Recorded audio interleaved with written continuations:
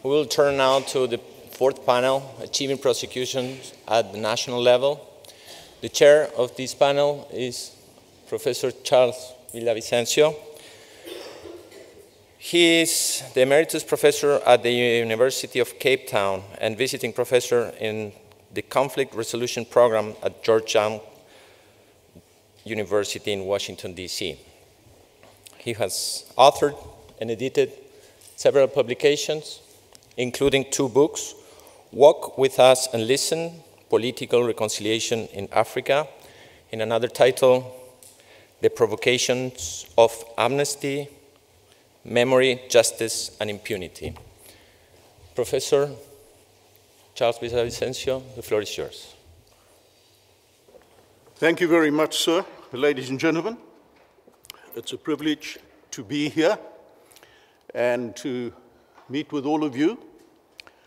Um, I'm going to approach this session a little differently in as much as I will make an opening comment I'm then going to briefly defer to each one of the panelists to speak for five, six minutes on the focus of their particular challenge in the work that they're doing at the moment.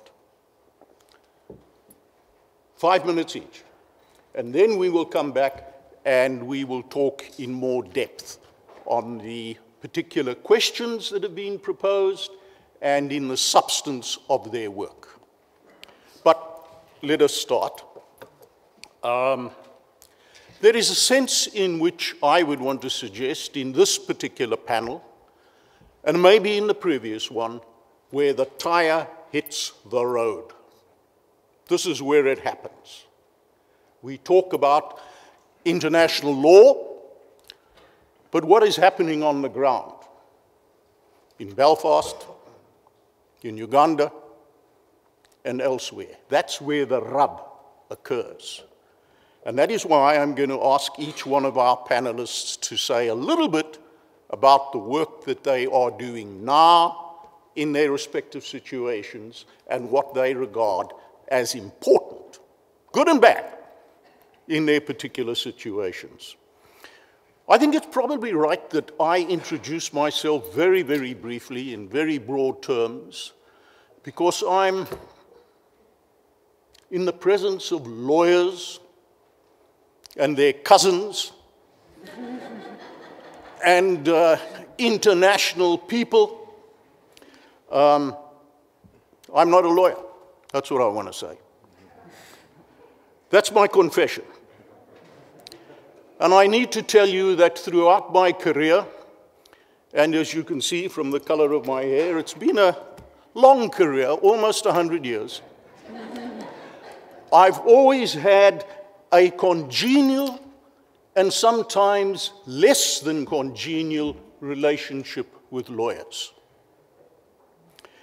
Uh, they would wave their finger and tell me what the black letter of the law said, you know, and as a completely naive person, I would say, so what?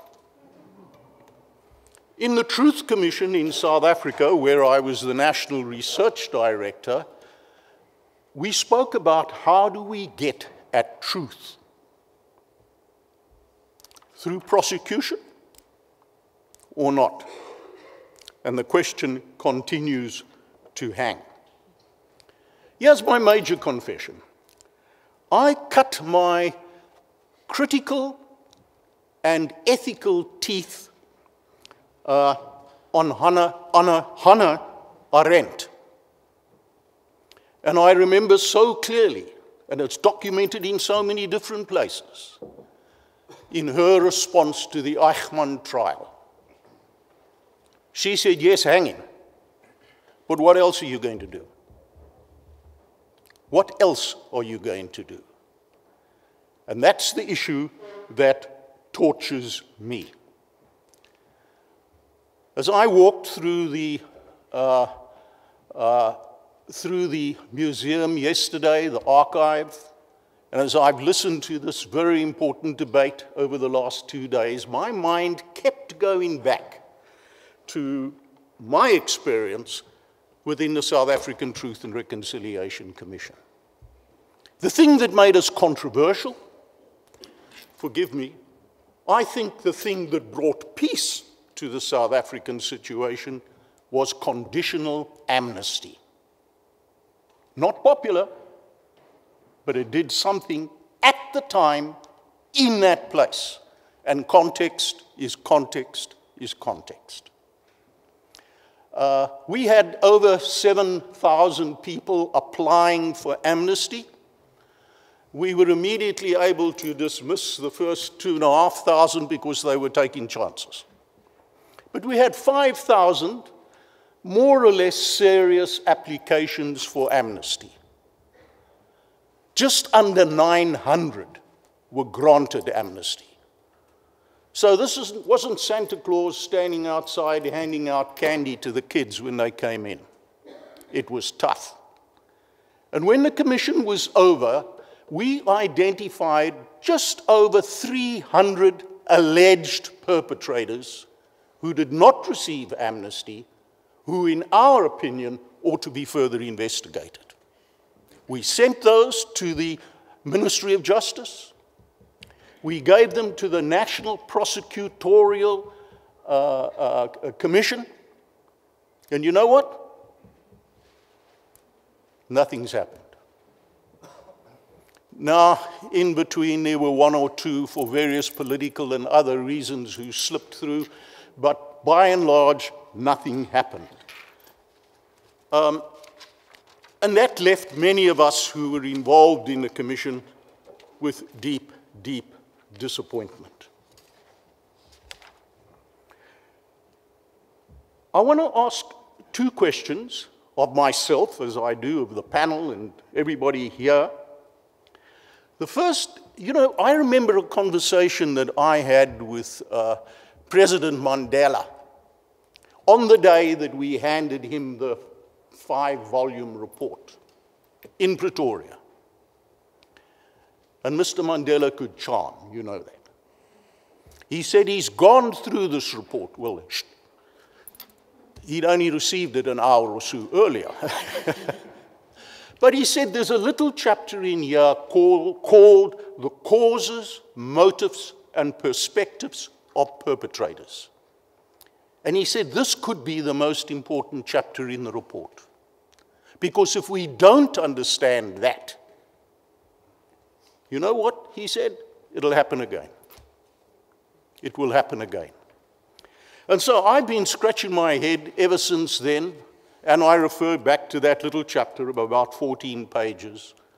What is it that is the final emotional trigger that results in genocide, war crimes, etc.? The first one is propaganda. And I was reading the, uh, I nearly said the Cape Times. I was reading the, the, the, New York Times this morning, where there's an excellent article on Hitler's rise to power.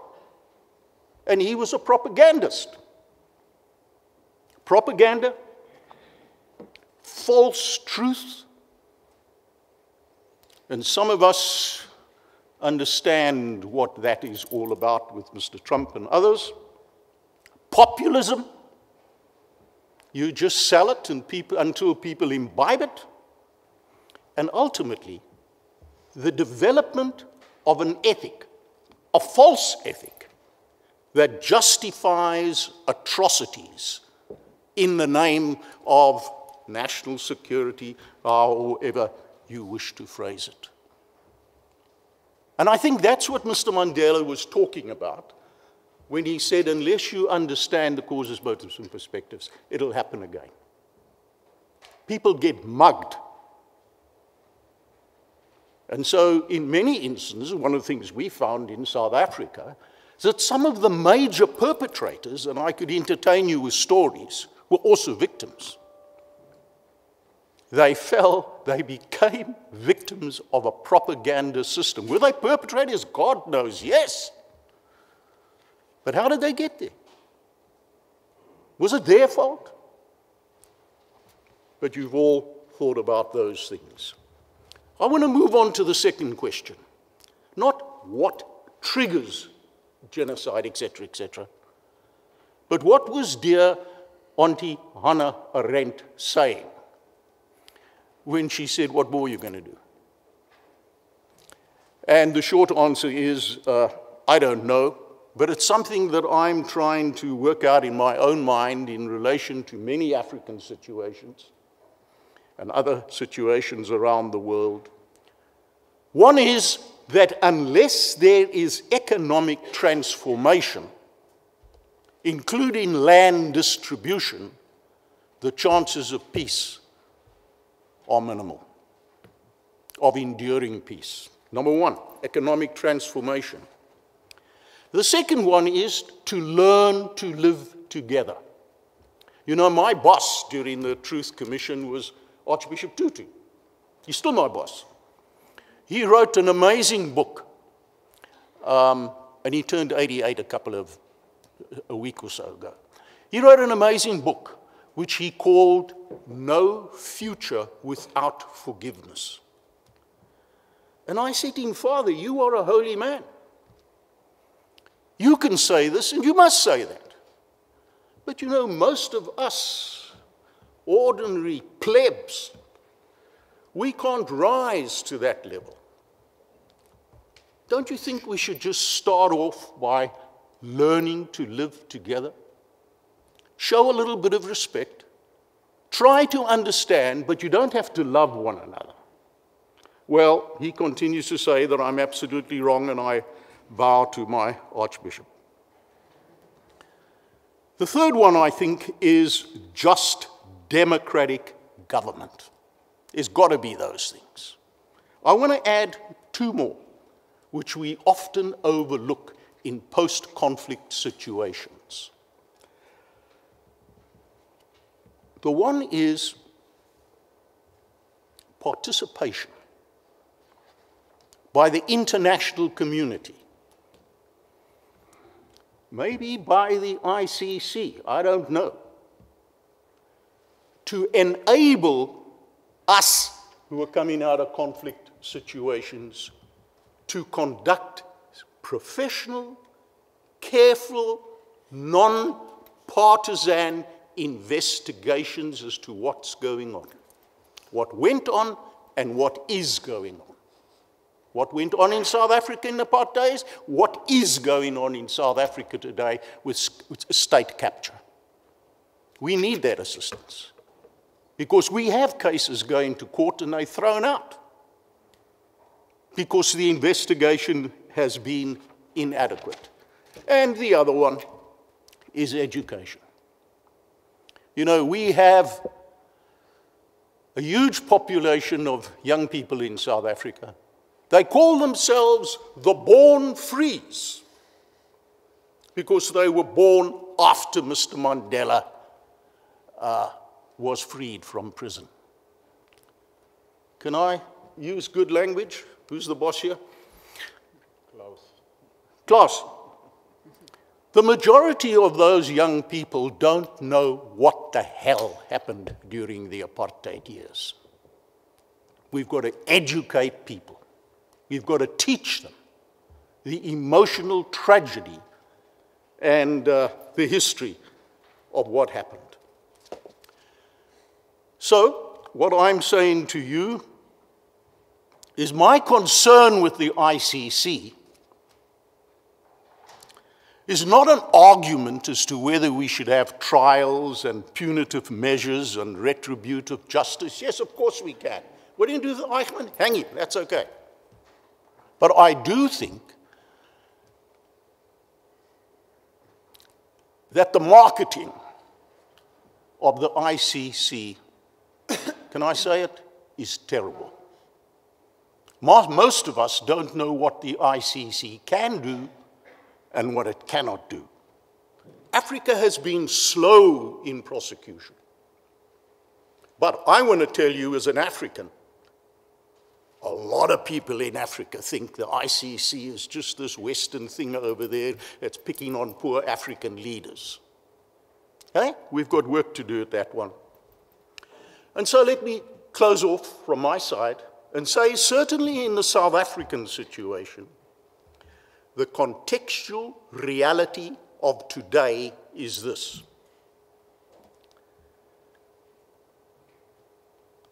That unless we have meaningful, structural, institutional transformation, we will have revolutionary transformation.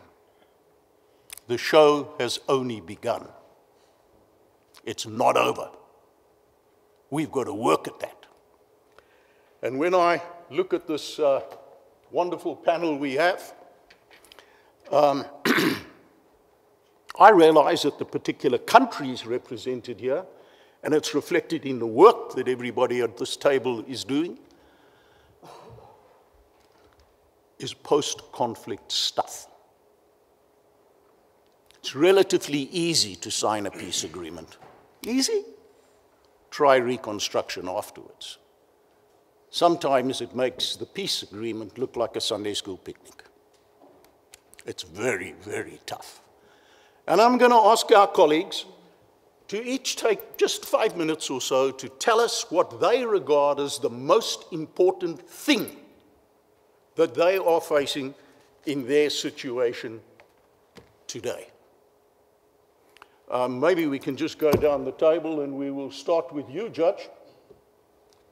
Tell us about Colombia and the work that you are doing there. I always tell my students there are the two most important truth commissions that have happened in the world are South Africa and Colombia. And if they don't work, God help us all. Continue, sir. Okay, good morning. Thank you very, very much, Mr. Chairman, and thank you for your very inspiring words.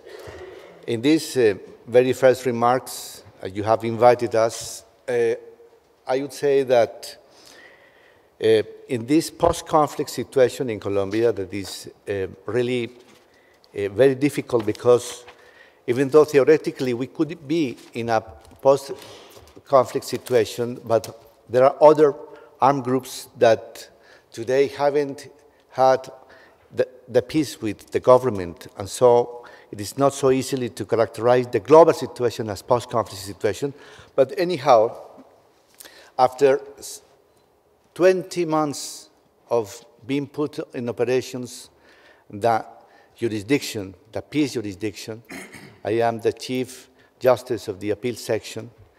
I have to share with you my first emotions, emotions that are from a citizen point of view and Republican emotions in a certain way.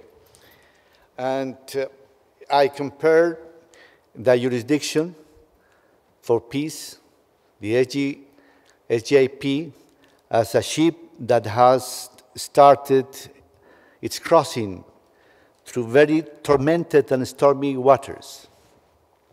Because from the very beginning, we have faced challenges just after the peace was signed by President Santos and he received the Nobel Prize, he left the government, a new government that was in the power and uh, characterized by, as enemy of the political process, started to introduce different reforms in this normative system.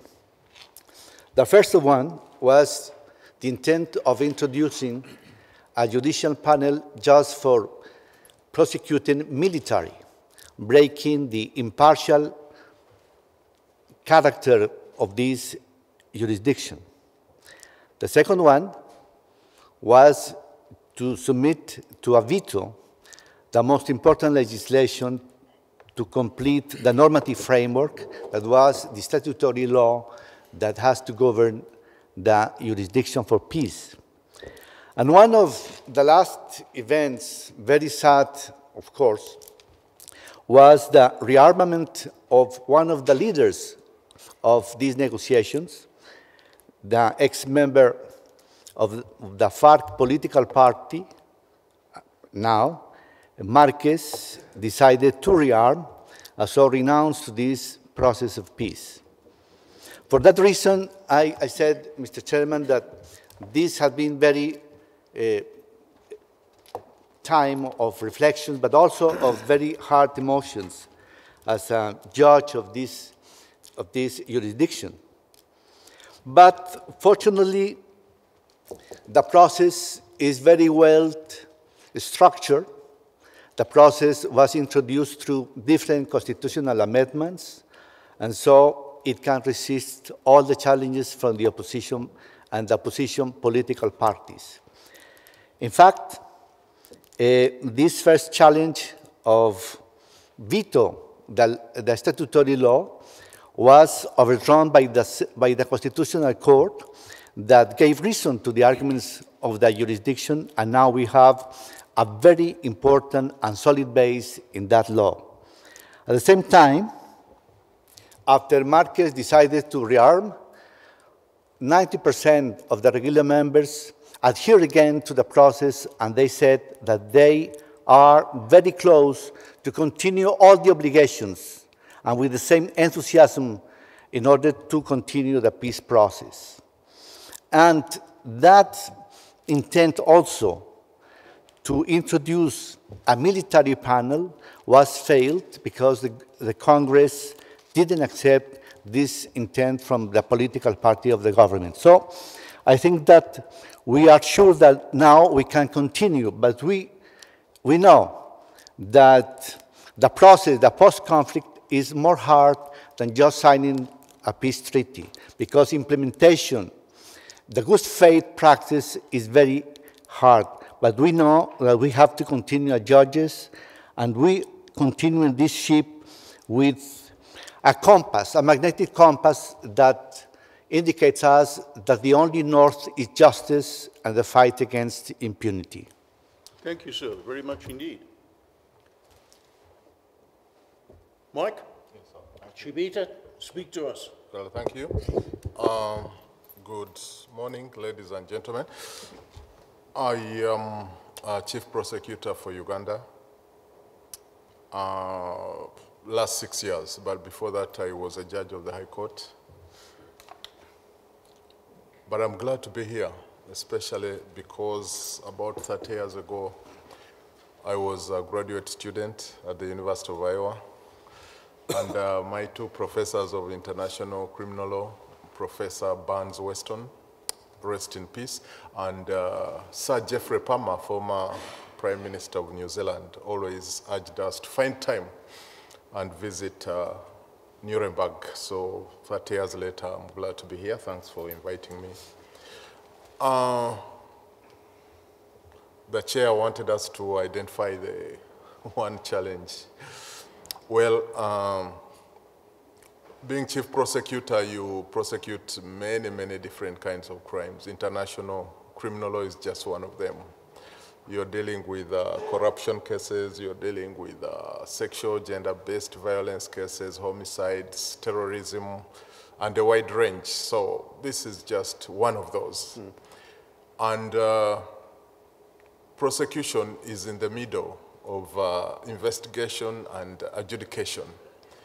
And sometimes, as a prosecutor, I uh, can remember the words of, uh, I think, President Obama and my own president have said, the president is not powerful enough, doesn't have enough power.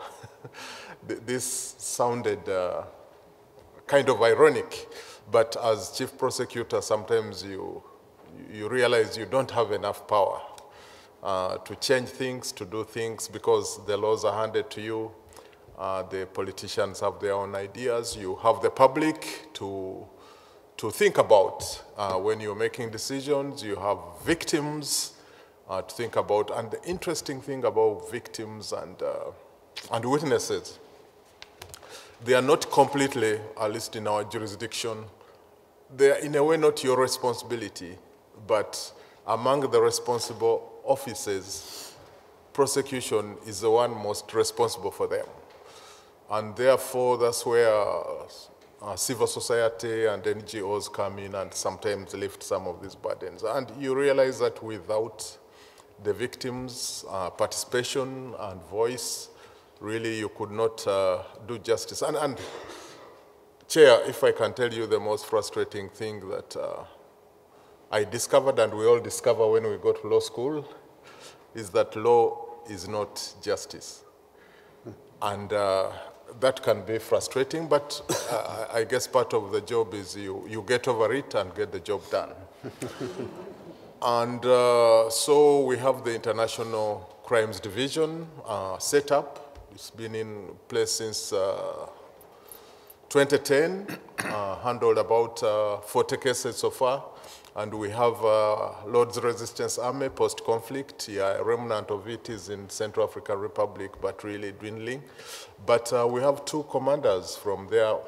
Kwoyelo, the trial is going on mm -hmm. right now in Gulu uh, after 10 years. Mm -hmm. And uh, Ongwen mm -hmm. is uh, being tried uh, at The Hague.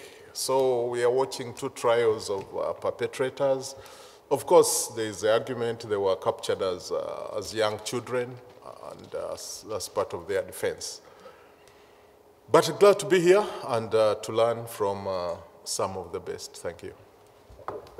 Thank you very much, Mike. We appreciate that greatly. These people are in the belly of the beast in many ways. Louise, we look forward to what's happening in the island of Ireland. Uh, thank you, Charles. Um, I wanted to ask her about Brexit, but she said I'm not allowed. yeah, it's a big day today. I'm not sure the fate of Northern Ireland feels like it's been decided in London for us this morning. But um, I was invited here today to speak about amnesties, um, which is the main part of my research as an academic. But I think thinking about Northern Ireland is a useful starting point for that because as someone who has lived and worked in Northern Ireland for the last 20 years, in many ways its experiences and approaches to accountability have informed my own thinking. So I think in answer to this question, what I'm going to do is try and pick out three ways Northern Ireland's experiences shapes how I approach understandings of accountability. Um, I'm going to assume that you're all largely familiar with the history of colonialism and partition that provided the backdrop for our 30 years of armed conflict over whether Northern Ireland should be part of the United Kingdom or united with Ireland. So I'm not going to spend any time really explaining that context. But I think it's useful just to note that um, Northern Ireland is a small place. Today we have a population of 1.7 million. During the conflict it was smaller there are 3,500 people who were killed. Compared to other conflict zones, that does not sound like a large amount. But a survey of victims conducted by the Commission for Victims and Survivors in 2010 found that one in three of our population self-identify as a victim of bereavement, trauma, and injury. So you get a sense of how this widespread and enduring the harms of our conflict are, even today, well into our peace process. Um, last year, Northern Ireland marked the 20th anniversary of the Good Friday Agreement. In many ways, it's a remarkable achievement. There are very few uh, conflicted societies are as fortunate to reach this type of landmark phase, but there are a lot of contemporary challenges that still need to be addressed. Our agreement in many ways, had a lot of very positive, forward-looking commitments around trying to create a society based on notions of equality and human rights. But it was silent on questions of truth, accountability, reparations. All that it contained, really, in relation to those provisions was an early release scheme. What this meant was paramilitaries who had been convicted during the Troubles would be released from prison on license over a two-year period. Um, today, anyone convicted, and there, there have not been any convictions since 1998, but if somebody were to be convicted, they would serve a maximum of two years in prison as a consequence of that scheme. Mm -hmm. Of the people who were released from prison, only 4% have been returned to prison for violating their license. Hmm. Now, that is a tiny amount of recidivism when it's compared to ordinary criminals in Northern Ireland. And so that gives me my first lesson when we think about the meaning of accountability or why we need to pursue accountability. Because it suggests that perhaps leniency does not always risk further violence and criminality. So it provides a challenge to that. Yesterday, um, when he was discussing universal jurisdictions in universal jurisdiction proceedings in Germany, Professor Safferling said something that really struck me. He said that we need to pursue these proceedings because we want to show we can't have murderers walking the streets in Germany. Uh-huh. Well, in Northern Ireland's peace process, we didn't just let the murderers walk the streets, we let them into government. Uh-huh. And I think for many people at the time, that was viewed as a necessary compromise. Not something that people perhaps thought was desirable, but something we needed to do. But over the years that followed, there is ample evidence of former Republican and Loyalist paramilitaries providing strong voices in support of the peace process. They've been advocates that have stayed with that peace process, and their leadership was able to bring their communities with them at points that were very difficult. And so that suggests to me a second lesson to take from this is that individuals who engage in politically motivated violence shouldn't necessarily be always viewed as unre- unrehabilitatable, as inherently evil. People who have engaged in political violence for particular circumstances can perhaps make a contribution to peace in the years that follow. Um, coming on just the last lesson I wanted to pick up, and I think this resonates perhaps with um, many of the things Charles was observing about South Africa. So, over the last 20 years, as I mentioned, we've had no convictions for troubles related offences. We have had a variety of different types of investigative processes. They've all been very discreet, individualized, focusing on particular high profile events or trying to provide information directly to families in relation to particular deaths. There are a lot of families that have not had their processes investigated even 50 years after the conflict began. Um, but there are a number of gaps that have not been addressed at all. Um, so there, at present, we have no shared narrative of the causes and consequences of our violence. I've been using terms to discuss it such as conflict and competence. In certain audiences in Northern Ireland, those terms are deeply controversial. I know letters to my university complaining where these terms are used, those sorts of things. So we have no language even that we can all use to describe our past. We have no memorial to the victims of our troubles that everybody can go to and share. There's no official commemoration in that respect. There's no agreement on who gets to be a victim and who doesn't. There is some consensus around some categories, but there is debates, arguments, contestations, and hierarchies. And we've had very little in the way of overarching institutional acknowledgement of harm. And here I'm talking about state institutions, but also non state in different ways and very little admission of institutional responsibility for the harms that have been done. So the biggest challenge for me today in Northern Ireland is that the past is being used as a way to fight the war by other means. We have what's commonly called as a meta-conflict, mm. through which all the different parties try to use their preferred, use the past to advance their preferred vision of Northern Ireland's constitutional status. And this contributes to, well, there's a lot that we know about our past. You know, terrorists tend to admit responsibility for their violence as the reason why they're doing it. There are nonetheless areas of denial and lack of truth that we still have not progressed towards. The uncertainty about our past is politically stabilizing. We recently marked the dubious um, milestone of a thousand years without, sorry, thousand days without a devolved power sharing governments that were meant to be set up under the peace process. And all these gaps should inhibit our ability to move towards an inclusive vision of our future and to deepen the ways in which we can learn to live together. So, from all this, I come, like, like Charles, with a sense that leniency can be useful, it can be important, and we need, when we think about accountability, we need to think about it from a richer perspective that looks at where we want to get to as a society and what are the gaps we need to address. Thank, thank you, Louise, very much indeed. We'll come back and cross-examine you so that we can solve the future problems of the world very shortly. 90 minutes, that should be fine. uh, Chinonye, Obiagwu, we're glad to have you with us. Obviously, give us a little brief introduction and we'll come back to you and cross-examine you as well. Thank you very much, Charles. well, I'm the chair of the Nigerian Coalition on International Criminal Court. Um, on that basis, I'm a criminal justice, uh, criminal defense lawyer uh, working in Nigeria for the past 28 years. Uh, I'm involved in a number of um, criminal defense um, for persons charged with um, well, what we describe as uh, crimes within the Prevention of Terrorism Act, which in Nigeria is the only legislation that deals with international crimes. Um, well, I'm to speak on challenges relating to domestic prosecution, domestic implementation of international crimes.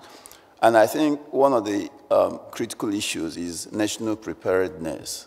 Uh, is a country prepared to investigate and to prosecute um, international crimes? And there are three elements to that. The first element is the legal framework. Now, if there is no adequate, if there is no um, incorporation of international crimes into the national uh, laws, it will be difficult to bring a charge under, for international crimes. Uh, in, in, Nigeria, there is, the Nigerian legislation has not domesticated um, the Rome Statute of International Criminal Court, um, which would have enabled the four crimes, core crimes, to be part of its criminal laws. Um, of course, for reasons I'm going to explain, um, on the third element, which is the political will, it was deliberate that government had refused over the last 20 years that civil society has pushed for domestication of Rome Statute, that government has refused to do so um, for reasons I will explain later. The, the second element of national preparedness is institutional capacity, the capacity of investigators to gather evidence and analyze evidence, the capacity of um, prosecutors to bring the charges and understand the elements of international crime, and capacity of the judiciary or the courts themselves to deal with that, deal with issue of witnesses, uh, be able to manage witnesses in a situation of armed conflict, like in Nigeria, we have Boko Haram terrorism, um, where even being a witness is very dangerous. So how do you protect witnesses in order to uh, get their testimonies in, in the courts? Um, do you have a robust defense, uh, legal defense? Because without legal aid, it would be difficult to prosecute crimes um, of that, those nations. And then the custodial, custodial services, the prisons and places of custody, uh, the adequate protection for persons suspects and so on. In Nigeria, in the last um, six or seven years, we have had about 6,000 persons arrested and detained in respect to terrorism charges awaiting trial. And they are all detained in different facilities, some in private facilities, some in, with state security services, and so on.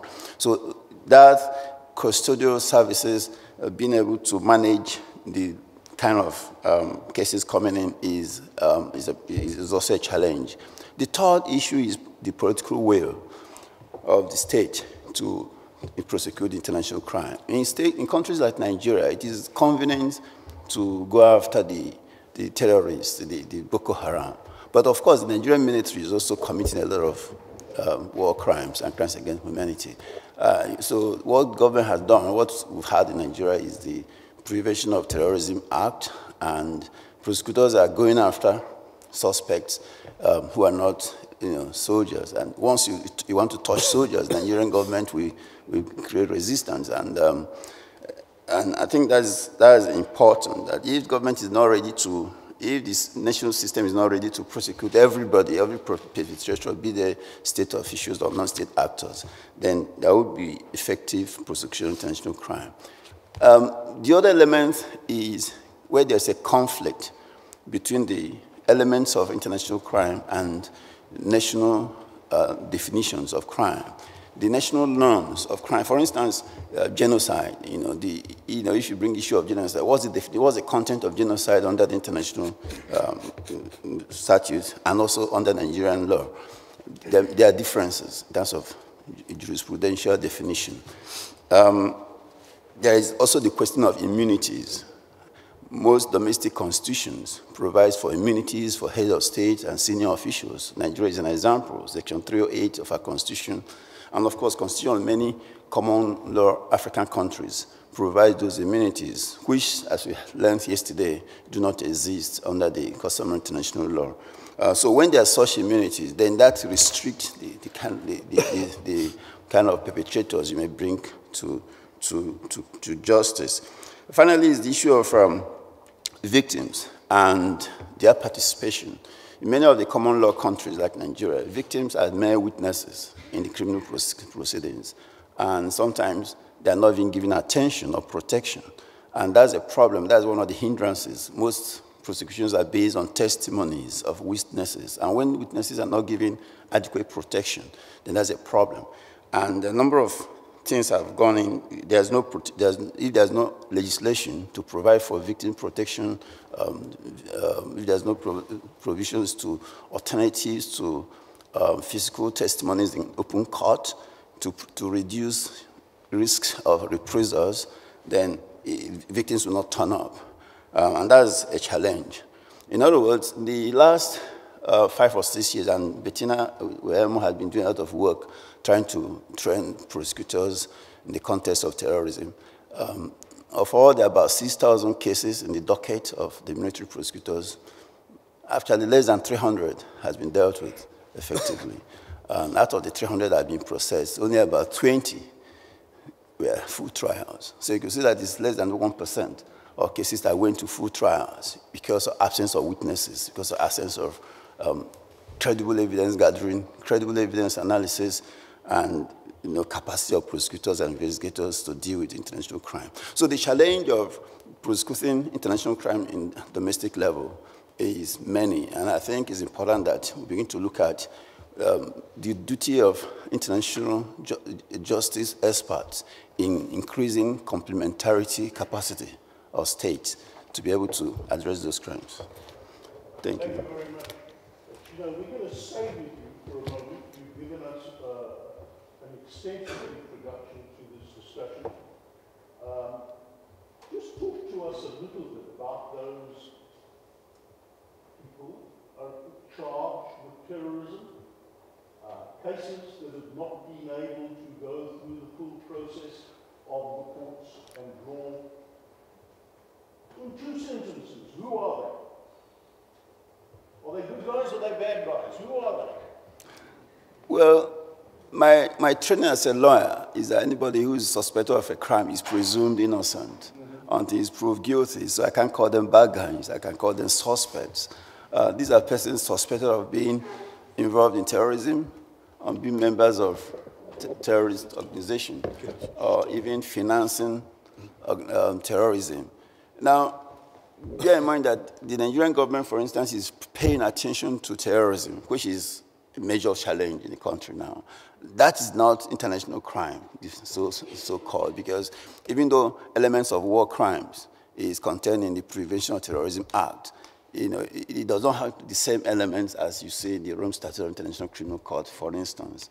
Um, so the threshold, or the, the evidential threshold for proof of crime of terrorism or financing terrorism or belonging to a terrorist organization is completely different from the threshold of war crimes or crime against humanity. Uh, it, it, that's in the background of the fact that the uh, Office of Trial Prosecutor that has been uh, undertaking preliminary examination of Nigerians since 2011, and each time they find out that both um, Boko Haram and Nigerian military had committed probably war crimes and crimes against humanity. So the people waiting for are suspects, the ordinary people. Some of them are combatants, and some of them are people in the communities who are accused of supporting terrorists, and they're arrested and kept in detention. But what, mat what matters is that some of them have been in detention for many years, and they have not been tried. Thank you very much. You mentioned again uh, Boko Haram.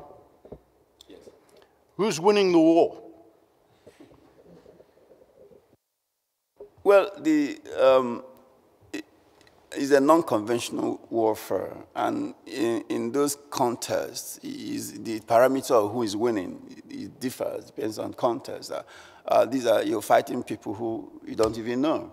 So the Nigerian military deploys these resources, you know, to fight people who go bombing public places. Uh, how do you do that? So he's trying to raise his intelligence to be able to do that. And the consequences of that is that we have a high level of civilian casualties uh, because in any community you go in, everybody is a suspect, eh, you know. Um, so I wouldn't say that I think Nigerian government has been able to manage, have been able to scale down the capacity of Boko Haram to cause um, havoc. I think they have been able to do that. uh, unlike in 2011 to 2014, where you have um, bombings in public places almost every week. Now, in 2019, I don't think we have more than three or four incidents. So the, the, capacity of Boko Haram has simply been decimated. But that also creates its own problem in the region, because having driven them away from, from the Nigerian borders, most of the Boko Haram uh, terrorists have moved on to Chad, to Niger Republic, to Cameroon, and had destabilized that region. So the entire Lake Chad region faces similar challenges. And um, um, we listened this, uh, this morning to problems arising in Chad. It is not unconnected with the, the government's uh, involvement in trying to curtail Boko Haram that has spilled into, into that country. So it's a war, and who loses? The civilians, the ordinary people, not the combatants. That Nigerian people are the ones who lose the war. It's the civilians that always lose in war contests. Thank you. Yeah, thank you very much. You've reminded us that those borders in Africa, all over the world, but Africa as well, are very porous. And so what may be seen as a Nigerian problem, for example, soon spreads and it becomes a regional problem. So we're not only talking about international crime versus domestic crime. The third one, of course, is regional crime. Would you, would you comment on that? Yes, of course. Uh, and that's why the countries in the Lake, Lake Chad region, Nigeria, Niger, um, Cameroon, um, uh, have come together to set up a, a, multinational force to address the borders, because the borders are very porous, the movement of small arms um, through the borders, especially down from Libya um, up, up, up to Nigeria. Um, so once there's no control of movement of arms, it becomes difficult to control what's going on. So is international cooperation in that respect. Um, and I think is international cooperation is only with respect to, to combat. They've, we've not seen international cooperation with respect to investigation, exchange of intelligence, and, um, and prosecutions. And another important element to that is the um, the international community itself being interested in, in that because now what is happening in, in that region is that ISIS is active. Um, and those arms comes from somewhere. Someone is supporting or funding terrorist movement um, in, in that region. Um, so uh, at the end of the day, it's cooperation across states that's very important. Thank you. I'm going to ask you one further question to drill down just a little bit, and then we're going to uh, leave you in peace for a while. Um, what do you say about the oil industry in Nigeria? Now, the perception is that a lot of money that's going to Boko Haram and unrest in the region generally is coming from some of the captains of the oil industry. Is that true? Or is that false media reporting? well, I, I wouldn't say, I don't think that is true because the, um, obviously the oil resources obviously is not in the hands of terrorists. I mean, it is not there, very far away, then up there in the northeast, while Nigerian resources is down in the south-south, Niger Delta. Um, like every criminal, any criminal gangs, they get their resources from different sources, kidnapping, ransom, trading arms, you know, um, all kinds of gun running and, and drug trafficking and, and so on. and of course, they also trafficking human persons. I mean, the Boko Haram moves into a community, adopts young people, and, and sell them off. Um, the case of Chibok girls is well known um, half of the 291 girls that were adopted in the secondary school had not returned up to after since 2014. So um, this is a serious criminal organized crime. Uh, their sources of income is not just one. So I wouldn't say oil, oil, oil money funds Boko Haram. On the contrary, the Nigerian government relies on oil resources to, to, to fight Boko Haram. Yes. Thank you sir, very much. For those of you who follow the international media, you know there's been quite a lot of verbal conflict between South Africa and Nigeria. Your president has just come to visit us in South Africa, and so we're good, good friends all over again. I, I, I hope so, Charles. um, let's come back to you, uh, Louise, if we may. Sure.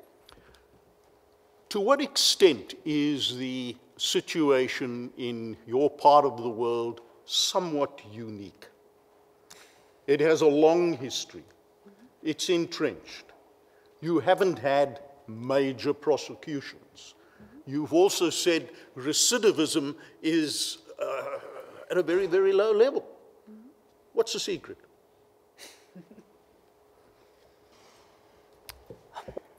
I think all conflict situations have degrees of uniqueness. Um, the, there are many features to do with Northern Ireland that are similar to other situations, and indeed, the success of our peace process has, meant that it's been somewhere that places often want to borrow from or learn what has worked. Where there, it's, I think, for many peace processes, you can learn what has worked and what has not worked. Things that probably have been more positive have been the institutional reform measures towards protecting human rights and building equality, but that has only gone so far in the absence of more societal reconciliation. But I guess if I want to step back a little bit and think about whether Northern Ireland is unique in terms of perhaps not pursuing widespread prosecutions, in terms of pursuing leniency programs, I think what is interesting for me is that amnesties are frequently used in many parts of the world. Um, in preparing for this seminar today, I had to look at the PA-X Peace Agreement database, which has been created by Christine Bell and colleagues at the University of Edinburgh. And that contains information on over 100, no, so 1,500 peace agreements in 140 countries. And that's all the peace agreement texts, from the ceasefire stage right up to post-peace agreement documents. And I drilled down within that and looked just at the comprehensive peace agreements. And of those, I found that 49% contain commitments to grant amnesty. And I thought that was quite a high level. It's not an unusual finding. There were studies done in 2007 that talked to, about the prevalence of amnesties and peace agreement texts. What I then tried to do is I have a database of amnesty laws around the world, uh, ranging from 1945 to 2016, of all types of settings. So I looked into my own database and used that to chart the implementation of those peace agreement amnesty commitments to see how many of those commitments resulted in laws, resulted in an actual amnesty process and I found that 83% did. Now, I'm not sure whether there's any comparable studies of chart charting the implementation of other type forms of peace agreement commitments, but for me that seems like quite a high level of implementation. It was certainly higher than I expected when I began to look into that process. So we can see Northern Ireland is not unusual, perhaps in adopting some forms of leniency. You know, I'm just looking at amnesties there. Northern Ireland hasn't had an amnesty. It's had different forms of leniency. Um, I guess the question that, ask, that begs for me is how useful are amnesties or leniency processes in contributing to peace? So Northern Ireland has had some success because our peace process has lasted for 20 years, even in the absence of criminal prosecutions. Um, more broadly, uh, there, are, there is a growing body of academic literature that's trying to quantitatively measure the impact of amnesties on peace processes. Uh, it's not an extensive literature. I think I can think of maybe 10 or 12 publications that are out there at the moment. And I have reviewed all of those at different points. And I think what was striking for me is that with the exception of one early study from 2007, which self-described its findings as tentative, the rest of the studies all had some consensus that they said amnesty could contribute positively to peace. Now, there are a number of challenges with that and those findings. I mean, for, for me, it points in a particular direction about what we can say we know right now. But those studies, by and large, treated all amnesties as identical. They didn't try and distinguish between the context the amnesty was introduced, the moment which they're introduced, whether it was conditional, what form of legal effects it had. In some cases, they included um, promises of amnesty that may not have been implemented in practice. So there's a lot of things going on there. Um, one of the studies by Geoff Dancy, which is one of the more, thought, more detailed and thoughtful ones, suggested that perhaps where international crimes were excluded from the scope of an amnesty, that increased the possibility of the amnesty having a positive outcome. Mm -hmm.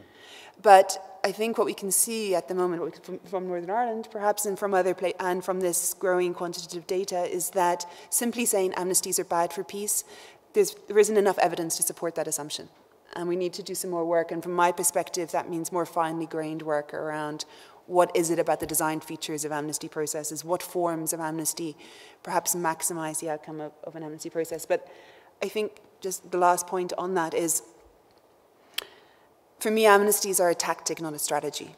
They are not something that in and of themselves can deliver peace, mm -hmm. and they're not something that should be given away unconditionally. Mm -hmm.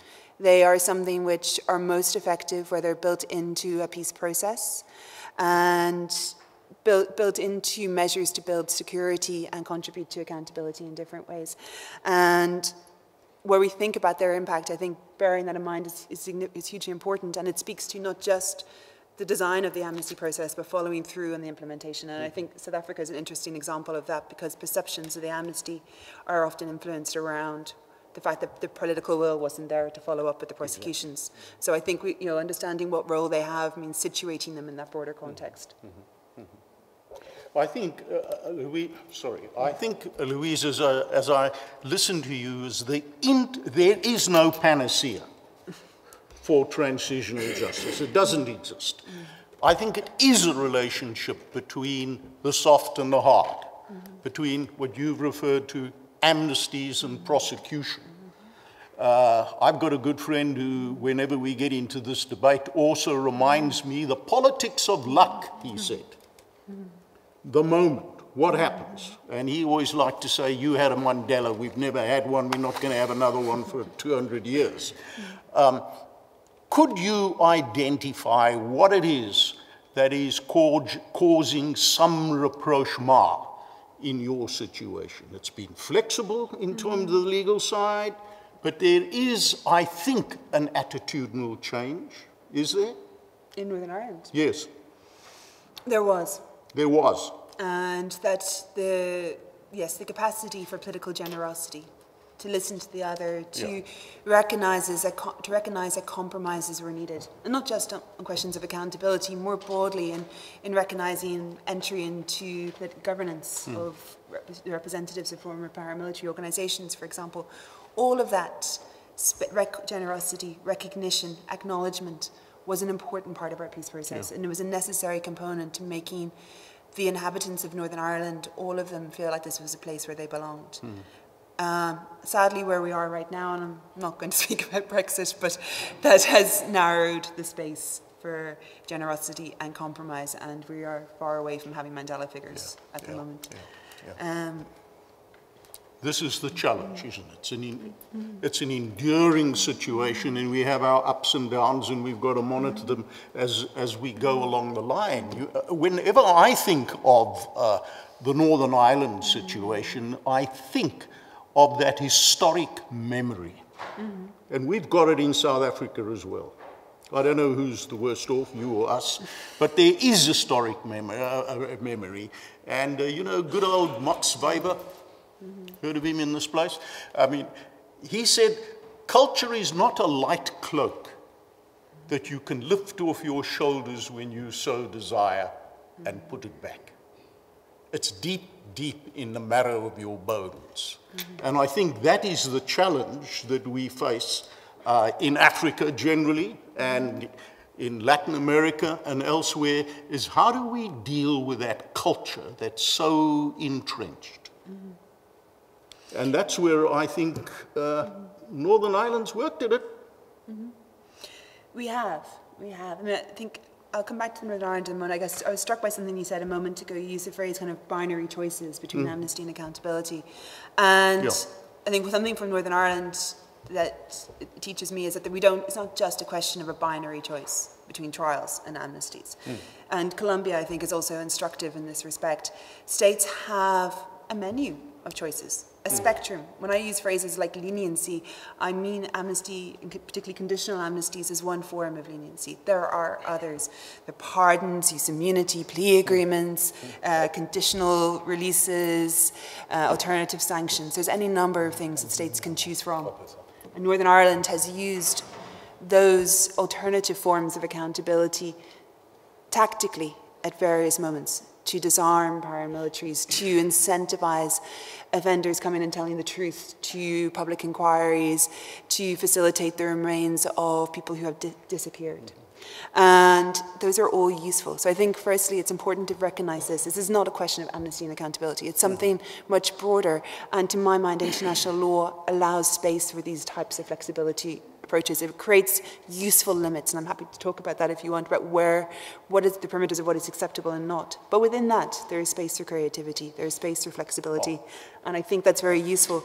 And on turning to the question of education and history and narrative, I was really struck about what you said about the Mandela's remarks on the significance of this African Truth Commission, about the importance of getting a multiplicity of voices, the importance of getting people to talk about why they engaged in certain crimes, the structures in which they worked. And that can be important for countering denial. It can be important for pinpointing what went wrong in the institutions and trying to accurately provide remedies to that. And we have questions to ask, I guess, about what is the most effective mechanism for doing that trials have a clear utility, but they, they have limitations in what they can achieve as well. And so for me, that's why it's worth exploring broader conceptualizations of accountability, because they give us different ways of getting to some of those tricky challenges, I think. Um, and in Northern Ireland, you're right. We have long memories a long and deep history. If you ask some people when did the conflict begin, they're not going to say 1968, they're going to say 800 years ago.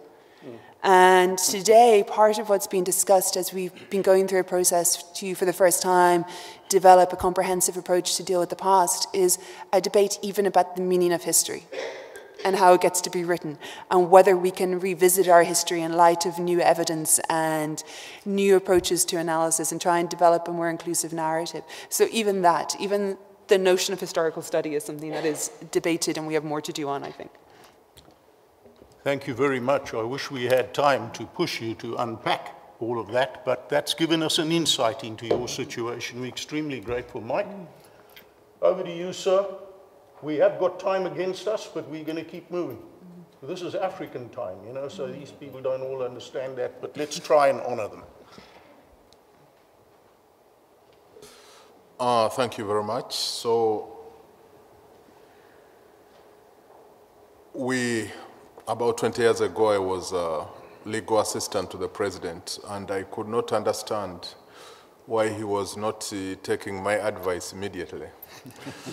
Until uh, I realized that uh, the president also had an economic advisor, military advisor, security, and, and, and all other advisors, and that uh, he was looking at things from a much broader perspective. This came to me when we were trying to work out the Amnesty Act vis-a-vis -vis, uh, prosecution, International Crimes Division. And uh, one head of the International Criminal Division, a judge, one day had an outburst and was condemning the government for having passed the Amnesty Act at all because it was uh, working against uh, prosecution and uh, promoting impunity in a way. But I, I, then realized that the government was looking at this from completely different perspective. The government wanted, above all, to end the war, to end the conflict. The judge wanted to, you know, prosecute all those responsible for the, for the crimes.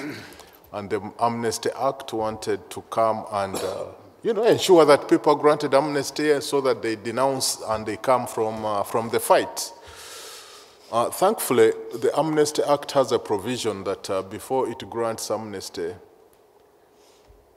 the DPP, the chief prosecutor, I must, uh, I must have a say in whether the amnesty should be granted or not. And uh, that's where we come to the current trial of uh, Thomas Kwoyelo, which trial has take, is now in its 10th year because Kwoyelo first had to go to court to challenge the decision to prosecute him because he was saying he had uh, applied for amnesty and others before him had been granted until the matter went all the way to the Supreme Court of Uganda and the Supreme Court said uh, he had to be tried. So we have now started a trial 10 years later. And of course, some people ask the question, Kwoyelo is one man, and uh, we have spent 10 years, we are, uh, four judges are on standby to try Kwoyelo. I have a whole army of prosecutors. The question some of people in the public are asking, why are you dedicating so much resources to trying one, one individual when we have so many other cases backlogged in the system? And I think that is where we have to come in with uh, explanations for international criminal law and, and that kind of thing. But the public may not see it the way we see it. So we have to come down into the arena and uh, so we, have uh, the International Crimes Court in Uganda, as I mentioned, has had actually quite a few accomplishments, the first of its kind in the region. It has now established its own rules of pro procedure, and I think the court was very critical in the ending the insurgency of the Lord's Resistance Army. I mean, there are many players who did this, but it was one of them. We've been able to develop uh, international criminal law jurisprudence uh, domestically. And uh, I think the tension between the Amnesty Act and the International Crimes Division has been uh, resolved uh, successfully. And uh, we have used the International Crimes Division to try other crimes, offenses under the Penal Code, trafficking in persons, and so on. So the, the, the court, I think, has done uh, a lot of good. Of course, challenges remain, uh, one of them being manpower in a place where we have a shortage of judges in the High Court, uh, devoting four judges full-time to wait and, uh, and preside over one trial uh, can be seen as a waste. Uh, the issue of victims and witnesses, of course, remains an issue after 10 years in fact, maybe 20. Are the victims still willing? Are they still available? Are they still uh, able to remember? Can you find them? Those are very, very big issues. Mm -hmm. The length of the trial itself, is it uh, justifiable? Of course, we have issues of death penalty versus uh, no death penalty. Uganda, we still have the death penalty on the law books. And, uh, and uh, Yes, I, I, will not say any more about that, but yeah, there is the tension between uh, the International Criminal Court saying uh, no death penalty and uh, us having. Of course, uh, we have some interesting debates about Ongwen being tried in The Hague and mm -hmm. Kwoyelo being tried in Gulu. Uh, the court uh, had to adjourn two weeks ago in Gulu because there was a rumor that some remnants of the Lord's Resistance Army were planning to come and rescue one of their own. Personally, I think it was, uh, it, it, was not credible, but you know, those of you who have worked in security and intelligence know that uh, you can never take a threat lightly. So the, the court closed and said uh, security should first uh, take care and cordon off the court and, and, and so on. So th this still uh, remains. But uh, having been to Gulu, which was the epicenter of this conflict 20 years ago and seeing what it was like, desolate, with uh, boys walking from the camps to Gulu town for safety, and uh, going back to Gulu now and seeing a vibrant, uh, peaceful town. I think we can say that uh, there's a lot that can be said that uh, the efforts have not been in vain, and we give credit, as you know, success has many fathers, but uh, international criminal law, I think, can pat itself on the back and say it played a very important role in this uh, peace. Thank you, sir. Thank you, sir. You've spoken about, and just a very short answer would satisfy me. I don't know about these people. What about Mr. Kony? He, he's wandering around somewhere. Why has he not been arrested? Whose task is it to arrest him? because that's the rub between international law and uh, domestic problems. The last time we heard about Mr. Kony was that he was in Central African Republic. Actually, he has not been seen in public, uh, I think, the last 20 years. There have been rumors that uh, he has uh, cancer of the throat, that he has died. I think Kony is a, is a name we can talk about, uh, like everybody I tell them I'm from Uganda and they ask me about Idi Amin. I think Kony has joined Idi Amin in uh, being a, a, legend, but uh, just a ghost in Uganda. Really is no longer a force to reckon with. Thank you very much. Uh, Uganda is such an interesting place uh, where I've been privileged to work a little bit on and off. So thank you, thank you for that. Now, Justice. Tell us what is going to happen in um, your part of the world, in Colombia. Such an interesting process. Uh, an awareness of the needs of FARC. Can you say also a little bit about the socio-economic situation? I think the thing's called land, which is a major problem in Africa. What about Colombia?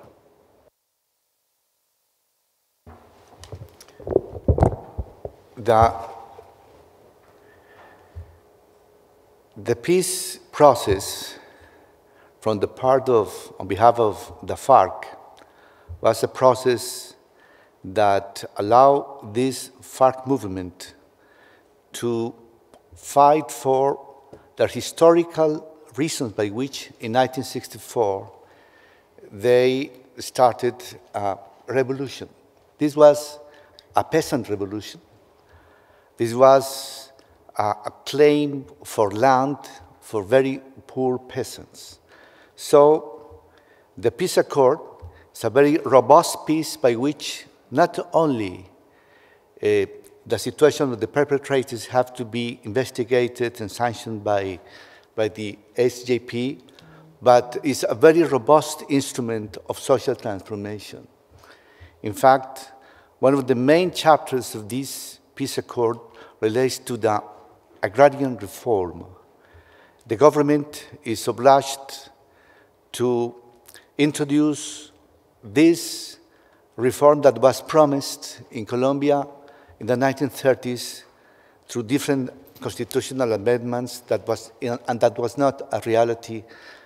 And only in the future, these duties that are programmed in the peace accord has to be fully fulfilled.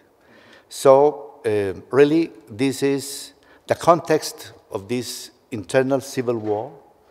It is the fight for resources for populations that live in the peripheric zones of Colombia.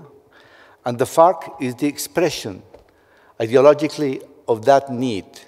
And so one very important part of this agreement relates to economic, social economic rights, the presence of the social state in those parts of the territory that have been abandoned by the Colombian state. The vacuum of this present state implies misery and hunger for many people. So, as I said, half of this accord that now has been um, given the hierarchy of a constitutional norm, uh, introduces duties for the next three governments in Colombia. A government term is four years, so for the next 16 years, uh, the duty of the government is to offer land to the poor, to resolve economic and social problems of that population, and to introduce also the funds necessary to do so uh, through the budgetary process and the planning process. Public policies in terms of reparation, public policy in terms of education and health, it is necessary. In more than 170 municipalities, where the impact of this internal conflict was more felt by the population, the government has to introduce development concrete plans that have to be Uh, decided with the participation of the population there. So we are not just at the end of an internal conflict, we are just in presence of the construction and the building up of the social state in half of the territory of Colombia. Thank you very much indeed. 16 years to address that one. it's, a, it's a very short period, isn't it? Yes. You know, we've been addressing it for 25 years in South Africa and we've made little to no progress. So this is a huge challenge, the socio-economic side of it. is there a sense uh, of optimism in FARC, for example? As I said in my remarked words initially, the leader of the negotiations rearmed, but the response of the FARC was to adhere deeply, more deeply even, to the peace accord. 90% of the members of the FARC now are working in special territories where they are demobilized. They are receiving uh, funds from the state in order to make some small enterprises, and they are working within a political party. That is the party that uh, is formed by this ideology. They have seats in the Congress, they participate politically, and so I think that from the part of the, of, of, of the FARC, what we have seen in Colombia is a full uh, compliance with all the duties that emerge from this accord. Uh, but I said this is a very long-term accord. And so we, we need also civil society to sustain the accord. We need other political parties to do so. And I think that in these three governments, we are going to achieve finally the peace. Because uh, President, uh, President Santos had the intelligence to introduce these 300 pages peace accord into the constitution. So now the, uh, the, back, red, the, back, the background of the accord is the constitution. The foundation of, the, of this accord is the constitution. And, this constitution and, and the constitution in Colombia is embedded in human rights and respect to international human rights. And now you have all the content of this accord that really gives all the possibilities for the state to construct social state for the poor. Now, as being constitutional amended the constitution, it has very difficult, it is very difficult for any other government to change the core. As I said before, President Duque that was backed by uh, former President Uribe that this is an enemy of the political process of the peace, tried initially to come back and to introduce some bombardment over some pieces of this uh, normative construction of the peace. But he was not, he couldn't, he was not possible for him to do so because the constitutional norm was safeguarded by the Constitutional Court, and so it was impossible to introduce these reforms. One, as I said, was the, the intent to create a judicial panel that will only investigate and prosecute military. And the other was to veto the statutory law of, of the SJP. And it was not possible. Because of what? Because the court now is constructed over a rock, and the rock is the Constitution. Thank you very, very much, sir. Um, certainly the accord, as it's available to everyone, uh, that took place in relation to the Colombian situation is incredible. You know, I wish you all the good luck in the world. Um, I think the biggest challenges, as I see it, as a South African looking into a Colombian situation that I know little about, um, one is time. You know, it's a long time to satisfy people, and some of those people are going to become restless in that time. And the other one, of course, is the will of successive governments. Now, I can talk to you about governments, uh, in South Africa, you know, where we get off to a roaring start and then it winds down. Well, you know, that's a challenge you're going to face, and at the core of the Accords, written into the Constitution, are all those uh, precautions. Now, you know, we've all spoken too long. Um, we've got 15 minutes with a push. Uh, let's open it to the floor. And we're going to take a few questions, and then I'm going to allow the panel to respond with discretion and discipline. Please. Please go ahead, right in the middle. Yeah, sorry, right. Thank you. Um, is this on? Yes. Um, Jennifer Trahan, NYU. Um, so, in talking about prosecutions at the domestic level, I wonder if you have any reflections. It's sometimes observed there is no one international institution that helps with domestic capacity building. The ICC is told it, it doesn't have the budget to do this. Um, to what extent have you received international assistance? Has it been helpful? Um, what um, I think currently this process is very ad hoc. So some countries help with this, some help with that. In your view, should this be more centralized? Should there be one go-to place that helps with um, domestic, or do you actually prefer uh, not having international assistance? That you know you appreciate domestic ownership and you find, you know, international assistance um, and um, help can come with strings attached, and you actually don't uh, seek more. Um, so, what are your views on kind of this aspect? Thank you. Should we take you, sir, and then we'll come over to, over to you? Okay. Thank you very much for all the presentations. Very interesting. My question is for Maria Louise. Um, I was wondering whether you could say uh, something about the Inter-American Court of Human Rights, Inter-American system of, of, human rights with regards to amnesty and with regards to the full prohibition of amnesties that they, they have imposed over Latin American countries. Thank you.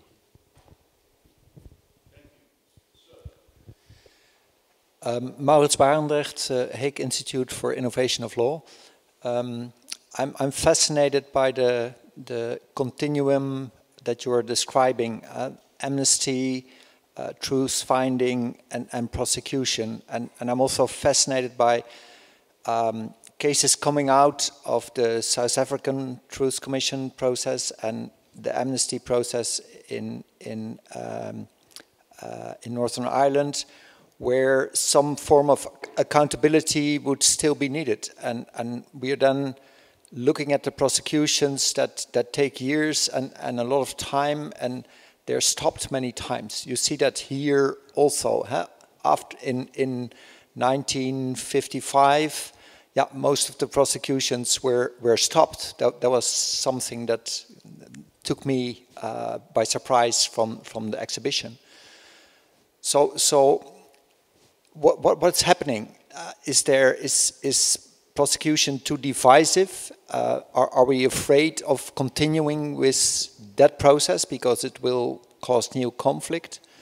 And if so, what can we do to make it less divisive? Do, do you see possibilities for that? Let's come back to the panel. Back to the panel in that case, and. Uh, let's come to some sort of response. I think there were people picking on you a little bit there, uh, uh, Louise. So why don't we start with you? Sure. Um, I guess I, I won't answer so much the first question about the capacity building because that's been less relevant in Northern Ireland. International involvement has been hugely beneficial throughout our peace process in a number of ways, but largely our process has been domestically owned, and I think that's a positive of, of the process. On the inter-American case law, um, it's a rich, robust body of case law that's been developed over a number of years and in many ways has been at the vanguard of developments in the question, in the question of the legality of amnesties. I guess there are three things I would highlight about it. Uh, firstly, there has been uh, a number of statements where they've articulated a robust rejection of amnesty laws. They have predominantly come from countries with a history of dictatorship and they, but they've moved away from notions of self-amnesty and they'll say it's the nature of the crime itself that can't be amnestied. But I think there has been a recognition of a space that, that transitions from conflict are somewhat different, and a tolerance of some form of leniency in those types of transitions in the inter-American case law. And to support that, I'd point to the series of judgments on Colombia, where the court has found that the alternative sanctions regimes are not amnesties and did not find them to be incompatible with the convention. I think the concurring opinion in the El Mozote case that talked mm. about the difference in the nature of those transitions is fundamentally important. And I think also, I just want to flag that the inter-American case law is not reflective of the rest of the world it's a regional approach that's a response to a particular regional history of amnesties.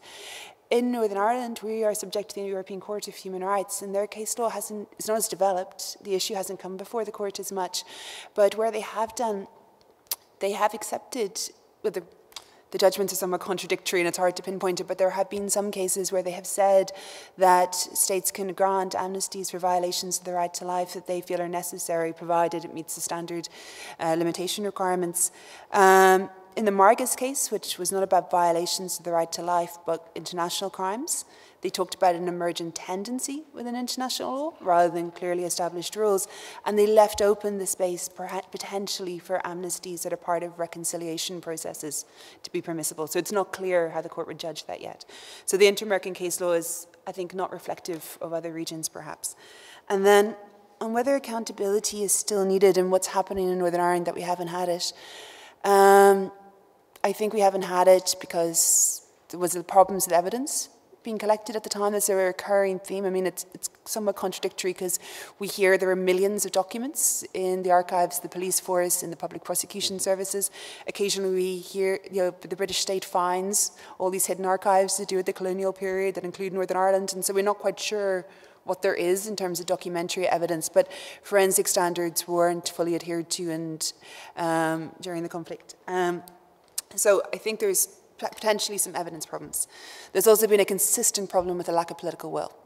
There's, where there have been investigations, they have been obfuscated by lack of resources, lack of disclosure of documents, a number of things. So there have been some processes that have worked well and importantly on a limited number of, of inquiries, but as routinely there is evidence of public, um, lack of public will. But there is still a demand for accountability. It's not going away. This is why we're still talking about this 20 years later. It's on the front pages of our papers routinely, week after week. This is something that's part of our public debate, and it doesn't go away. Victims still want answers, but whether they want those answers in trials or in other formats, that is something which is, there is not one coherent view even within one, some of the more high-profile victims' families, they have different positions on this. And so it's, mm -hmm. there are a number of ways in which accountability could be delivered, and I think it's difficult to find one that would give everybody the answers they need. Thank you very much. Shouldn't you have uh, this responsibility vis-a-vis -vis the coalition of the International Criminal Court? Do you want to just revisit your presentation in terms of the questions that we have?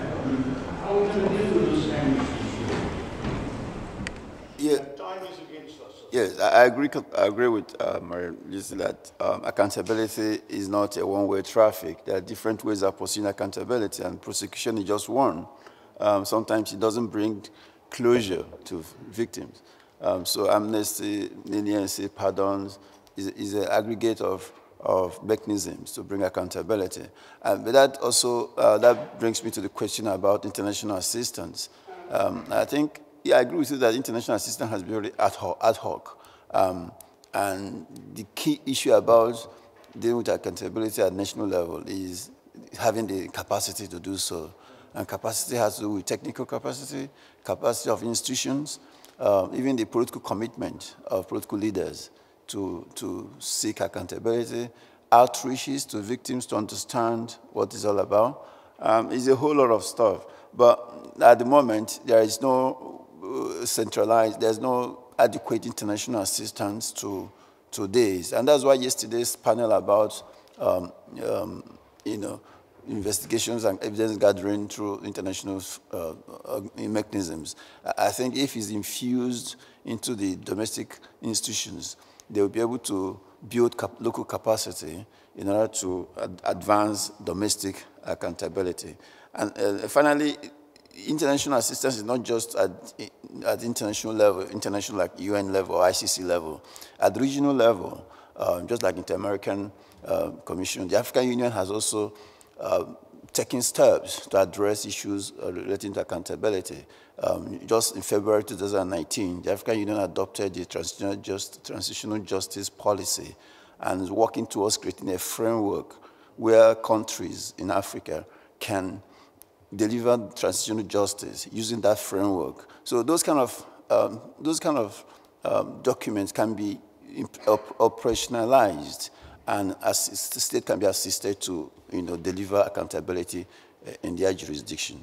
So the international system is very important, and it does not derogate domestic ownership, because when you give assistance um, in terms of expertise, in terms of resources, in terms of building capacity, um, it does not you know, take away the ownership that is required for justice to be properly delivered. Thank you. Thank you very much, sir. Um, can we stretch it and have one last comment because of the status of the lady involved? Um, I'm so sorry to keep people from lunch, but uh, I did have a question just because the terminology that's being used is slightly broad. So leniency is a wonderful idea implying, you know, so particularize consideration of an individual's status and, and, and, to be lenient. Amnesty is sort of different, and what I was unclear about from the panel is whether the suggestion was that amnesty, for example, for crimes against humanity or genocide would be appropriate in, I mean, that was just a little unclear because Protocol 2 says after a conflict, you should have a general amnesty, right, for combatants, for mm-hmm. example. But what I sort of thought I was hearing was even for genocide or crimes against humanity, at least there was some openness to amnesties for that, and I would sort of think that would not be okay. So I, would love a mm-hmm. response on that. Okay. Anybody want to comment on that very quickly? And then we're going to wrap it up. Judge, you tell us. Um, in Colombia, uh, there is a long-standing tradition to grant amnesties to any internal conflicts, but always, even though this tradition is back up from 50 years, uh, always are excluded what we have called atrocious crimes. And uh, in the normative uh, status of, of this jurisdiction, in the body of norms and regulations, it is very clear that this amnesty cannot be granted for the core crimes, in other words, for crimes that fall under the competence of the ICC, just for political motivated crimes, minor crimes. And also these, um, uh, these amnesties are not absolute. They are very relative and they are conditioned with with the cooperation and the duties of cooperation to truth by the, by the grantees and the reparation of victims. So it's not always permanent and it has to be surveilled by the judges. Thank you. Louise is leaning on, on me here to give her two minutes. so blame her, not me, right? Sorry, Eduardo. um, So I think that's an interesting question, and it's one which I think is hotly disputed when you talk about the legality of amnesty laws. Where amnesties correspond to treaty law, there's clearer standards around what is permissible and what is not. For questions of crimes against humanity and war crimes and non-international armed conflicts, we're relying much more on customary international law. And there, people take divergent approaches in how we identify existing customary international law. Um, I was Note, I noted that last year the UN Special Rapporteur tasked with developing the Convention on Crimes Against Humanity observed that there's mixed state practice with regard to whether these crimes can be amnestied or not. And that is something that I have similar findings from from my own database of amnesty laws. So if I had more time, I would have shown you the slides, but roughly I have identified 123 amnesties for international crimes enacted in conflict situations between 1990 and 2016.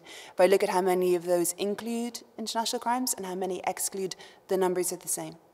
If I look at them over a time period, from, for that, look on year on year and see if there's been a shift, because a lot has happened, the creation of the International Criminal Court, etc., to try and determine how we've seen a move away we're not. The trend lines have remained relatively constant. So as, as obviously identifying state practice is a complex exercise. There are many different sources we could look to for that. But for me, what states are actually doing in terms of granting amnesties is a significant source of state practice. And at present, it's very difficult to say that there's any consistent and widespread practice to exclude international crimes from the scope of amnesty laws. And I think when that's put on top of state unwillingness to sign treaty prohibitions prohibiting amnesties when, they offer, when it's been negotiated at the Rome Statute, at the International Covenant on Enforced Disappearances, and I think if we had a look at where states are willing to endorse, financially support, uh, or otherwise engage in amnesty processes in other countries, you would also find that there's mixed practice there, even from states that are parties to the ICC. And so I think at the moment it's difficult, just looking at state practice and opinio juris, it goes with it, to say the customary international law is clear on this matter. Thank you, Louise, very much indeed. I shall give you my three points in three sentences. The first is that I think there is consensus that there ought to be flexibility and how, on how one deals with a post-conflict situation. But there are limits. There are limits. And it's very, very difficult in domestic situations to always interpret that. But I say thank God for the ICC in terms of those limits. That's very important. That's one. Number two is that I hear everybody talking about something called capacity. You know, a huge, huge responsibility without the capacity to do it. And so the, the, the, very good question that you ask is, do we need international support?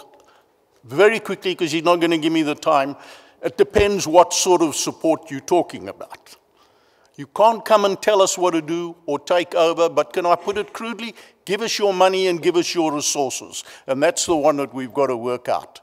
Uh, and my final comment is that um, there's a context for everything, isn't there? When I look back to the 1990s in South Africa, wow, it would have been great if we could have done one, two, and three. You know what? We just couldn't do it. And so context concerns time and it concerns place.